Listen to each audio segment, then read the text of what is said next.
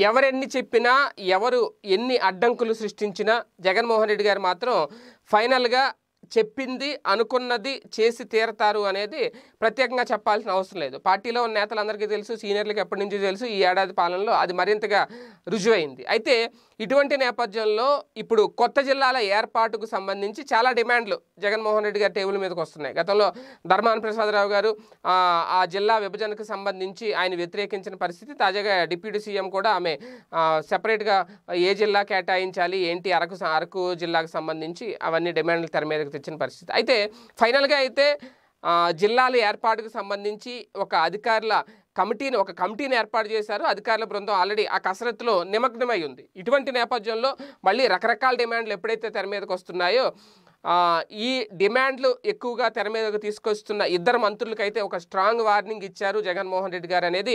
ఇప్పుడు తాజాగా వైసీపీ శ్రేణుల్లో హల్చల్ అవుతున్న ఒక హాట్ టాపిక్ అది ఎంతవరకు వాస్తవం అనేది పక్కన పెడితే కనుక ఇప్పుడున్న పరిస్థితుల్లో ఇది అంటే ఈ జిల్లాల విభజన అనే దాంట్లో ఎటువంటి రాజకీయ జోక్యం లేకుండా పూర్తిగా అధికారులకే పెత్తనం అప్పచెప్పారు జగన్మోహన్ రెడ్డి గారు అనేది తాజా అంశాలను బట్టి అర్థమవుతుంది అనేది ఎందుకంటే అధికారులు అక్కడున్న పరిస్థితులకు అనుగుణంగా అక్కడ భౌగోళిక పరిస్థితులను దృష్టిలో పెట్టుకొని అలాగే అక్కడ మౌలిక వస్తువులను దృష్టిలో పెట్టుకొని ఓవరాల్గా అక్కడ విస్తీర్ణాన్ని ఇవన్నీ కూడా అంచనా వేసుకొని అసలు ముందు ప్రకటించినట్టు ఇరవై ఐదు పార్లమెంటరీ నియోజకవర్గాలని ఇరవై ఐదు జిల్లాలుగా మారుస్తారని ఏదైతే ఆయన ప్రకటన చేశారో అందుకు తగ్గట్టుగానే అధికారులు అన్ని నిర్ణయాలు తీసుకొని ఫైనల్గా ఆ ప్రకటననే వెలువడించే ఆలోచన ఉన్న నేపథ్యంలో కొంతమంది మంత్రులు తెర మీదకి వచ్చి మా జిల్లాలను విడదీయడానికి లేదు.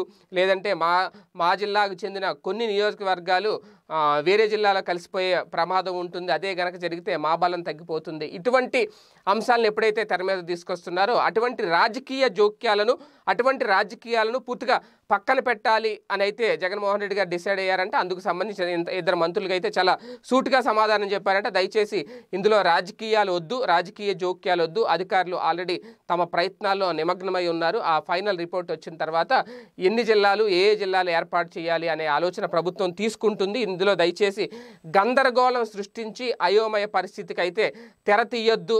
అనేది అయితే గట్టిగా వార్నింగ్ ఇచ్చారు జగన్మోహన్ రెడ్డి గారు అనేది. ఈ క్రమంలోనే ఆ ఆ నేతలు ఎవరైతే ఉన్నారో వాళ్ళు కూడా మనకెందుకు వచ్చిన గొడవ అని చెప్పి సైలెంట్ అయిపోయారంటే ప్రభుత్వం ఏ నిర్ణయం తీసుకుంటుందో దానికి మేమంతా కట్టుబడి ఉంటామని కూడా తాజాగా ప్రకటన చేసిన నేపథ్యం. ఈ మౌనం వెనక అసలు కారణం ఇది ఈ ప్రకటన వెనక అనేది. కొంతమంది అయితే ఇప్పటికీ ఇరవై ఐదు కాదు ఫైనల్గా జగన్మోహన్ రెడ్డి గారు ఆలోచించిన తర్వాత మరొక జిల్లాను పెంచితే కనుక ఇరవై ఆరు జిల్లాలు అయితే తెర మీదకి వచ్చే అవకాశం ఉంటుంది అనేది కొంతమంది అయితే అదేం లేదు ఇరవై జిల్లాలే ఫైనల్ చేసే ఆలోచనలో ఉన్నారని. ఇరవై ఐదా ఇరవై ఆరు అనేది భవిష్యత్తులో తేలుతుంది. అయితే రాజకీయ జోక్యాలు లేకుండా జిల్లాలు ఏర్పాటు చేయాలనే ఆలోచనలో జగన్మోహన్ రెడ్డి గారు ముందుకు వెళ్తున్నారు అనేది మాత్రం ప్రస్తుత పరిస్థితుల సారాంశం అంటున్నారు రాజకీయ విశ్లేషకులు. ఈ వీడియో గనక మీకు నచ్చినట్లయితే లైక్ చేయండి షేర్ చేయండి. మరిన్ని వీడియోస్ కోసం మా ఛానల్ను సబ్స్క్రైబ్ చేయండి.